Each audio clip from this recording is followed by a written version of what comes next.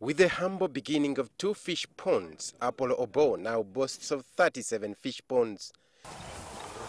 And from one fish pond to the other, Obo takes us through his business, which now rakes in millions of shillings per year. Land was idle, and an idea came to look for initially an alternative source of income. So the farm started with the construction of only two ponds. Armed with the fish nets, his counterparts follow him to harvest mature fish. He breeds three types of fish, tilapia, catfish and miller catfish. From the 37 fish ponds, he harvests three tons of fish for consumption every year. Obo started with fish fries, which give him 2 million shillings per month.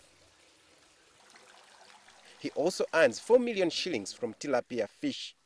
The hatchery produces over 500,000 miller catfish per year. Because of this success, Obo has inspired many farmers in the Mount Elgon and Teso regions.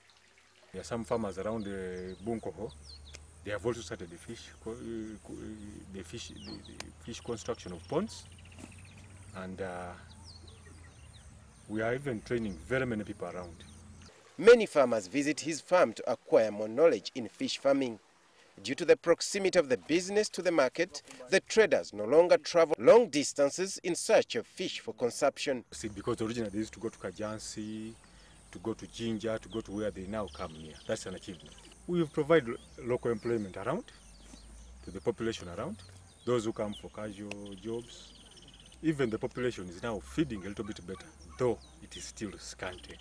It's at this point that Obo unveils his future plans of supplying fish to industries in Jinja and Kampala that don't have adequate supplies and also export fish. We hope to export and even supply fish to these local factories that are closing in Jinja and whatever. That is our major objective in future. But the business does not go without challenges.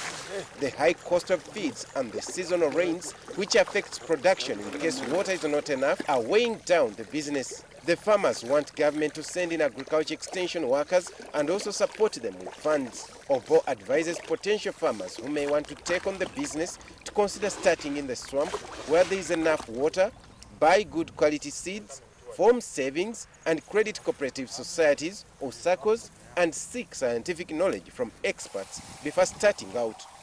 The future is in fish farming. Why? Our lakes are depleted. So the money is in fish farming. It is definitely there with our increasing population in Uganda.